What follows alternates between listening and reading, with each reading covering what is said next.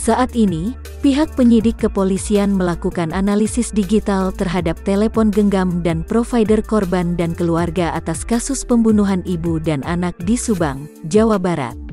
Selain itu, pihak kepolisian juga memeriksa 23 ponsel milik saksi. Pihaknya menyebut analisis digital akan bisa membuka misteri Kemtian Tuti dan Amalia di Subang, Jawa Barat. Polisi disebut telah menguak chat terakhir Amalia pada ponsel para saksi yang diperiksa. Hal itu memunculkan sosok lain dalam proses pencarian tersangka kasus pembunuhan Tuti dan Amalia di Subang, Jawa Barat. Diduga ada sosok yang dinyatakan sebagai pemilik terkahir chat Amalia selain memeriksa rekaman CCTV di lokasi kejadian, pihak kepolisian juga memeriksa sejumlah ponsel milik para saksi.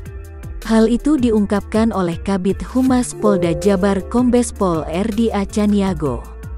Saat ini tim penyidik menginformasikan bahwa sedang melakukan analisis digital terhadap telepon genggam dan provider korban serta keluarga. Namun, RD tak menyebutkan ponsel siapa saja yang diperiksa.